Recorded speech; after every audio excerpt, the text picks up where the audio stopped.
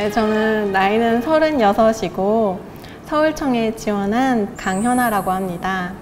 음, 먼저 작년 8월부터 직장을 다니면서 시작하게 되었습니다. 시작을 하면서 아, 이거는 직장을 다니면서 병행이 조금 어렵겠구나. 그래서 직, 계리직 공부만을 위해서 음, 퇴사하고 공부만 전념하게 되었습니다. 그 집에서 주로 공부했고요.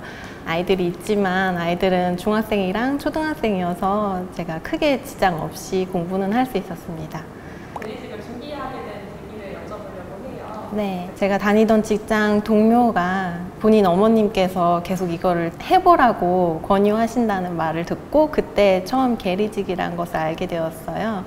그래서 저도 알아보다가 어, 이렇게 연령 제한이 없고 제가 열심히만 하면 할 수 있겠구나 해볼까라는 고민만 사실은 몇 달은 했던 것 같아요. 제가 이제 다니던 직장이 교대 근무고 나이가 들어서도 할 만한 직업이라는 생각은 안 들었어요. 그래서 이게 평생 직장은 아니구나라는 거는 확신이 들어서 그 확신 덕분에 제가 이제 퇴사를 결심하고 계리직을 준비를 할 수 있게 된 것 같아요. 우산통은 어떻게 알게 되셨고 어떻게 이렇게 넘어오게 되셨는지 일단은 유명한 광고 광고 카피 그것만 생각하고 이제 타 사이트를 먼저 시작하게 되었어요. 그런데 카페를 보다가 거기서 추천하는 글들을 우연하, 우연히 보게 됐어요. 이응시읒 티귿이라고. 네, 그래서 어, 이 이응시읒 티귿이 뭐지? 하고 찾아보다가 아 유상통이라는 곳이 있구나. 그래서 80% 합격생이 나왔다. 그래서 그때부터 이제 차근차근 알아보게 되었고 돈 월이 패스로 넘어오게 되었습니다. 과목별 학습법도 여쭤보려고 커밀은 유수쌤이 하라는 대로만 그냥 그냥 그렇게 하라는 대로만 하면 돼요. 그래서 너무 편했어요. 이제 유수쌤이 올려주신 강의 순서대로 기초, 심화, 기출 이거는 착실하게 한 번씩 다 들었고요. 그 이후에는 합격자분들이 천재를 많이 도움받았다는 그 합격 수기를 보고 천재를 다 프린트해서 한 번 풀고 1번부터 1000번까지 또 꼼꼼하게 다시 한번 2회독하고 그 후에는 틀린 문제만 또 다시 3회독을 해서 천재 위주로 커뮤른 공부를 했던 것 같아요. 기출 문제 같은 경우도 제가 모르는 문제만 Q코드를 검색해서 찾아서 들었습니다. 한국사 같은 경우에는 제가 정말 노베이스였어요.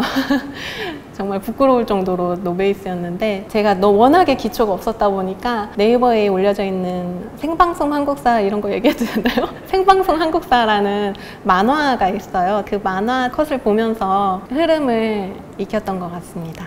그리고 한국사는 꾸역꾸역 넣다 보면 언젠간 그게 자연스럽게 연결된다고 근데 제가 그 말에 엄청 공감을 했어요. 그냥 암기를 계속 하다 보면은 어느샌가 연결이 되면서 이제 문제를 풀 수 있게 되실 거예요. 그리고 우금 같은 경우에는 우편은 사실 처음엔 어렵진 않았어요. 내용은 어렵진 않았는데 정말 힘들었던 부분이 계속 휘발이 되었어요.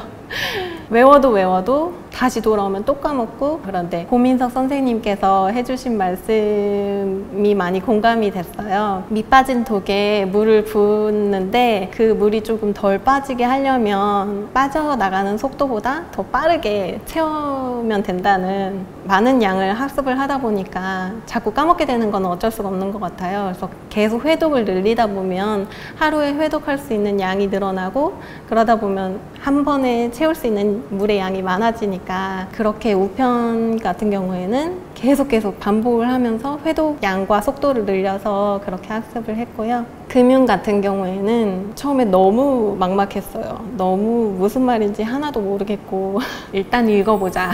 그냥 계속 그냥 무식하게 계속 읽었던 것 같아요. 사실 아직도 잘 이해는 안 가는데 그냥 문장을 이제 외우게 됐던 것 같아요. 사실 제일 힘들었던 과목이었던 게 한국사나 커밀에 비해서 기출 문제가 많이 부족하기 때문에 제 실력을 테스트해 볼 수 있는 기회가 많지 않은 과목이었어요. 그래서 그냥 막연하게 계속 회독했던 것이 어, 많이 도움이 됐던 것 같습니다. 면접은 어떻게 준비하셨고 실제 면접은 어떻게 보셨는지 여쭤볼게요. 합격 때까지는 조금 마음 편히 쉬웠던 것 같아요. 그리고 필기 합격이 발표 나면서부터 그때부터 준비를 시작했어요. 유상통에서 스터디를 꾸려주셔서 스터디원 분들과 일주일에 세 번 정도씩 만났고요. 또 이제 겹치지 않게 다른 스터디를 하나 더 꾸렸어요. 그래서 저는 총 두 개의 스터디를 하면서 거의 매일매일 모의 면접을 했어요. 스터디는 많이 도움이 됐던 것 같아요. 저 자신을 객관화할 수 있고 또 다른 사람을 보면서 이런 건 어떻게 해야겠구나 이런 감이 오기 때문에 스터디를 통해서 도움이 제일 많이 됐던 것 같고요. 그리고 유상통에서 오프라인 강의도 준비를 해주셨는데 실제 면접에서 정말 큰 도움이 받았었어요. 그때 오프라인 강의 때 받았던 질문이 있었는데 진짜 이렇게 머리를 쥐어뜯고 생각을 했었거든요.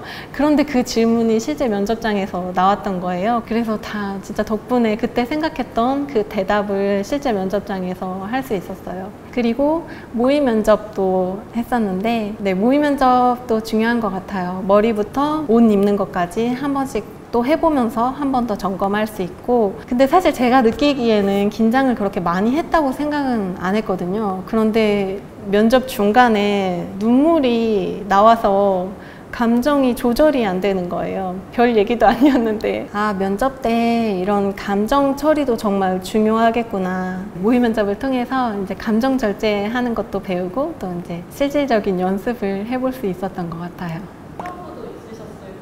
음. 시작하기 전에는 내가 이걸 할 수 있을까? 시작하고부터는 합격할 수 있을까? 그러니까 항상 걱정했던 것 같아요. 이런 멘탈이 사실 제일 힘들었던 부분이었고, 시험 공고가 났을 때는 43명 뽑는다고 해서 정말 진짜로 포기하고 싶었어요. 진짜로 포기하고 싶었어요. 그냥 아까워서 계속 했어요. 공부했던 게 너무 아까운 거예요. 아, 또 눈물 나올라. 그냥 하는 데까지는 하자 이 생각으로 버텨왔던 것 같아요. 직장 동행이시거나 육아를 동행하시는 그런 아. 수험생분들에게도 네. 경험자로서 한마디 해주신다면 직장 다니면서도 할 수 있고 육아하시면서도 충분히 하실 수 있을 것 같아요. 아직은 수험 기간이 많이 있기 때문에 그리고 만약에 수험 공고가 난 후라면 퇴사를 추천드려도 될까요? 정조의 홍제전서에 이런 말이 있어요. 무엇을 시작하기 전에 시간이 충분할지를 생각하지 말고 최선을 다할 수 있을지를 생각하라고. 근데 이게 정말로 정답인 것 같아요. 본인이 최선을 다할 수 있을까? 이것을 먼저 고민을 해보시고 최선을 다할 수 있겠다는 확신이 드시면 그냥 그거 믿고 최선을 다 하시면 될 것 같습니다. 그리고 경쟁률 때문에 걱정하시는 분들도 계실 거예요. 저 역시 멘탈이 너무 약해서 경쟁률이 가장 큰 스트레스였어요. 합격자분들이나 선생님들이 해주시는 말씀에 경쟁률은 상관이 없다. 나 자신과의 싸움이다. 사실 이 말을 저는 그 당시에 들었을 때는 어떻게 저렇게 무심하게 말씀을 하시나 그랬었는데 제가 경험을 해보니 나 자신과의 싸움이 정말 맞는 것 같아요. 나 자신과의 싸움에서 이길 수만 있다면 경쟁률에 크게 상관없이 분명히 합격하실 수 있을 거라고 믿습니다. 그냥 얼떨떨했던 것 같아요. 그리고 눈물을 왈칵 쏟았었어요. 시험이 10시쯤에 발표난다고 해서 9시 반 정도부터 그냥 핸드폰만 붙잡고 대기를 하고 있었는데 문자가 오더라고요. 10시 2분에. 그냥 울컥해서 바로 울었어요. 가장 좋아했던 과목은 커밀이었고 힘들었던 과목은 우금이었는데 점수는 커밀이 가장 낮고 우금이 가장 높이 나왔어요. 게리직이 되기 위해 함께 해준 가족 같은? 막연했을 텐데 잘했다. 잘해왔다. 잘 버텨왔다. 네.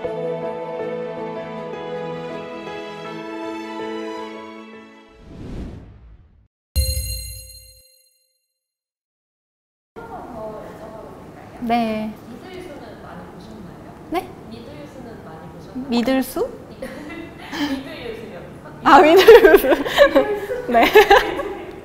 네, with 유수, 네. 다 챙겨봤어요. 타 사이트 같은 경우에는 제 자신이 알아서 강의만 듣고 정말로 혼자 해야 하는 싸움이었는데 유상통에서 할 때는 유수 선생님께서 계속 with 유수를 통해서 정말 실시간으로 같이 해주시는 기분이 들었어요. 그래서 저는 with 유수를 계속 올라올 때마다 정말 반갑게 아 with 유수 올라왔다 하고 어, 또 내가 무슨 힘을 받을 수 있을까 하면서 계속 챙겨봤던 것 같아요.